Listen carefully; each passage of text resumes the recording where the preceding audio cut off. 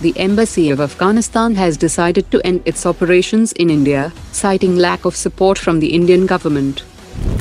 Muhammad Muizzu will be sworn in as the new president of Maldives. He is from the opposition party, which has a very pro-China tilt, and he has promised to remove Indian troops stationed in Maldives. Indian Army has unveiled artificial intelligence-controlled 7.62mm Dragunov sniper rifle in Guwahati that will take its capabilities to new heights. 96% work of the strategically important Sela Tunnel is complete, and it will be inaugurated by end of 2023. India's NewSpace Research and Technologies has tied up with a Japanese firm to create the autonomous swarm systems for disaster management.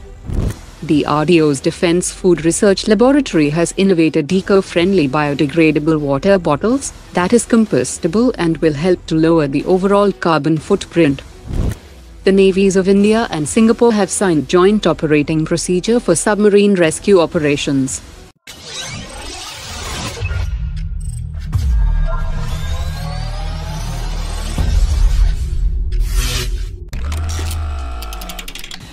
The Director of Avionics and Weapons Systems at the Aeronautical Development Agency has said that it will take 18 months to roll out the first Tejas Mark II aircraft, and the first flight will take another 6 months, which means that the long-anticipated Tejas Mark II aircraft could finally take its maiden flight by October 2025. He also said that around 90% of the components will be indigenous, and this ambitious project involves 300 public and private institutions.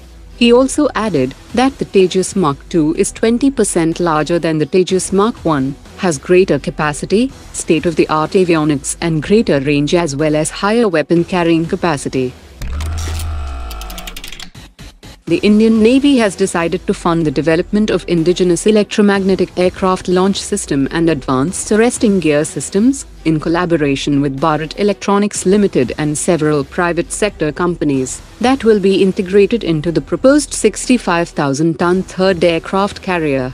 The Indian Navy will soon initiate feasibility studies with multiple partners to create a scale model that can serve as a technological demonstrator followed by development of a full-scale land-based system, which would later be integrated into the third indigenous carrier.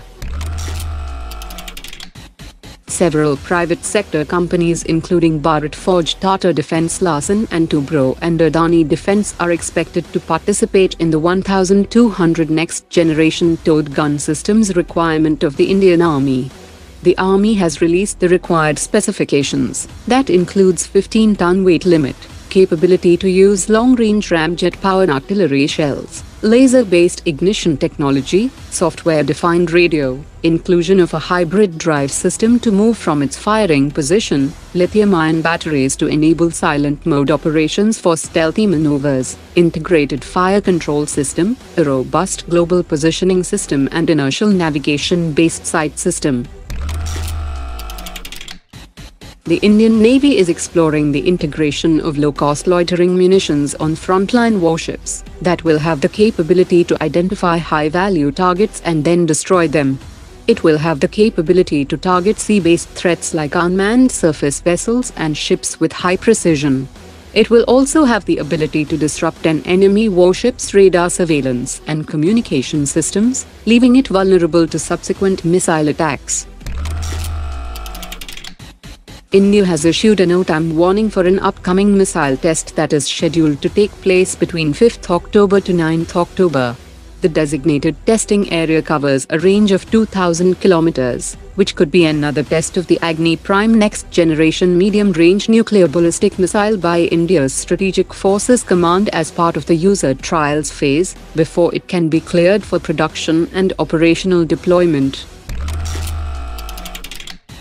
At a time when the Chinese Shiyan 6 scientific research vessel has entered the Indian Ocean, naval experts have said that Chinese vessels are surveying vast regions of the Indian Ocean under the garb of conducting scientific tests, and the data gathered would be invaluable for the Chinese nuclear submarines to increase their activity in the Indian Ocean. Chinese survey activities near Andaman and Nicobar aims at finding the US Navy's fish hook sensor networks, that is designed to raise alarm when a Chinese submarine enters the Indian Ocean.